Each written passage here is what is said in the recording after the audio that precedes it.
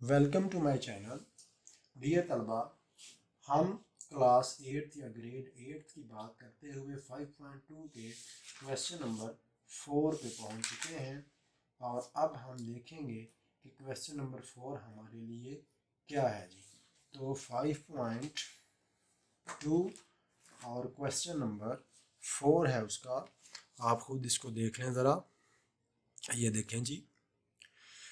Question number four है। The of two polynomials is this यानी x square plus two x मनफी y square if one polynomial is this then find the other polynomials ठीक है? तो कहता है कि दो कसरों का मजमूआ ये है, अगर एक रकम ये है तो दूसरी मालूम करें। तो ऐसे ये आपको सवाल हल करना है। तो हम इसको बार बार जो है मैं आपको बार बार इसीलिए कहता हूँ कि सवाल की रीडिंग किया करें ताकि आपको पता हो कि आपने करना क्या है। The sum the sum of two polynomial is this रकम। कहता है कि दो रकमों का मजमुआ ये है।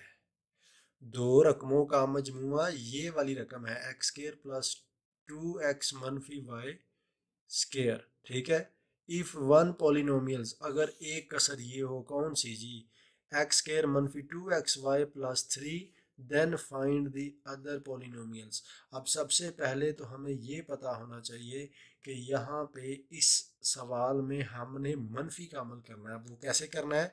कि वो कह रहा है कि दो कसरों का मजमू ये है और एक ये है। तो दूसरी मालूम करें जो बाकी है। तो आप इसमें से इसको निकालेंगे तो वो आपकी जो एक्सरसाइज है वो आ जाएगी। तो क्वेश्चन नंबर जो है, वो हमारे पास है जी फोर तो क्वेश्चन नंबर फोर को हम बड़ी ही होशियारी से और बड़ी मुस्तदी से हाजिर दिमागी में हल करेंगे। ठीक है? तो कहता है जी, क्या कहता है? द ऑफ़ टू पोलिनोमियल्स सवाल नंबर चौथा हमारा जी।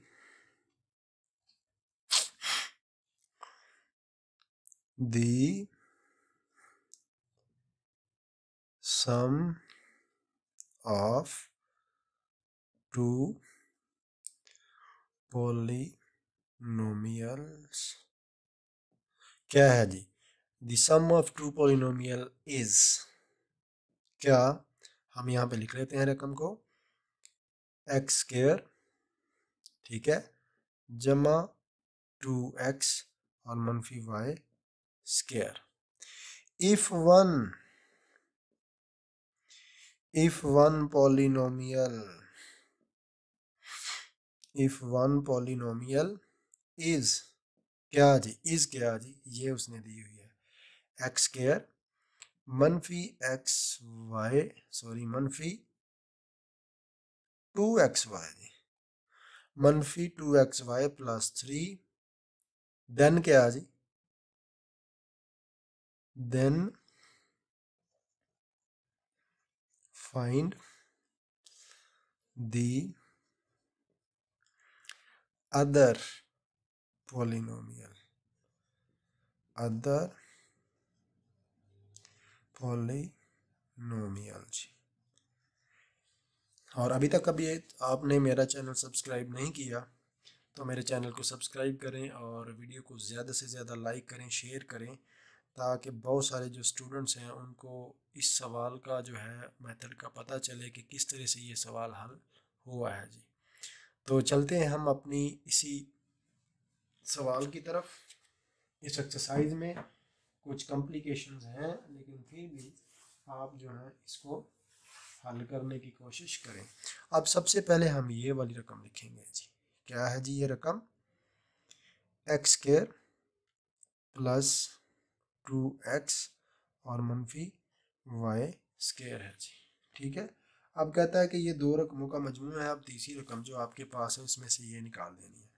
तो ये वाली रकम आपने क्या करना है, इसमें से निकाल देनी है। आपने बस एक ख्याल ये रखना है कि सेम पावर के नीचे आपको रकमें लिखनी है जी। तो ये एक्स केयर इसमें से हमने मनफी करना है, लेकिन हमारे पास यहाँ पे कोई दूसरा एक्स वाई वाला नहीं है। लिहाजा इसको हम लहदा से करके लिख लेंगे जी। ठीक है? उसके बाद प्लस थ्री हमारे पास यहाँ पे कोई सिंगल नहीं है तो इसको भी हम यहाँ पे क्या करेंगे? लिख लेंगे।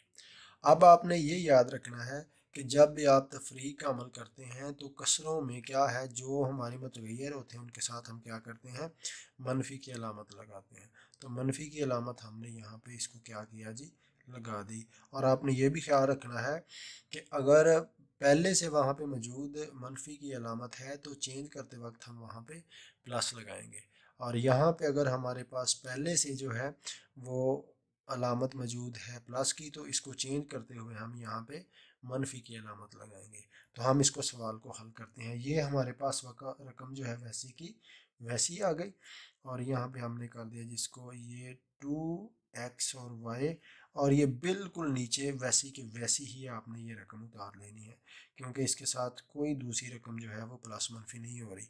ये वाली रकम भी जो है ना, ये वाली बिल्कुल आपने वैसी की वैसी नीचे उतार लेनी है, क्योंकि इसके साथ आपको कोई और जमा मनफी नहीं हो रहा। लिहाजा ये जो है हमारा, ये मनफी प्लस के साथ कैंसलाइज हो गया। तो हमारे पास जवाब तो आ गया है ये। लेकिन ये काफ़ी जवाब नहीं है। हमें क्या करना है? इसको तरतीब दे लेनी है जी। तो हम क्या करेंगे? इसको तरतीब दे लें जी। तरतीब दें। या आप इसको कह सकते हैं कि इसको असेंडिंग ऑर्डर में लिख लें जी। असेंडिंग ऑर्डर में लिखें तो असेंडिंग ऑर्डर में लिखेंगे तो सबसे पहले क्या आएगा जी हमारे पास? सबसे पहले आ जाएगा टू एक्स सबसे पहले क्या आएगा जी? टू एक्स, फिर आपके पास आ जाएगा जी plus two x y, plus two x और वाई। और उसके बाद आ जाएगा हमारे पास मनफी वाई स्केयर और सबसे एंड पे हमारे पास आ जाएगा मनफी थ्री। तो ये फाइनली आपके पास आपका जो है तरतीब के साथ ये आंसर है जी। तो मुझे उम्मीद है कि आपको इस सवाल की समझ लग चुकी है। मेरी वीडियो को ज़्यादा से ज़्यादा शेयर करें, चैनल को सब्सक्राइब करें और अगर किसी किस्म का आपके पास कोई सवाल है तो वो ज़रूर पूछिएगा। ओके, अल्लाह हाफिज़।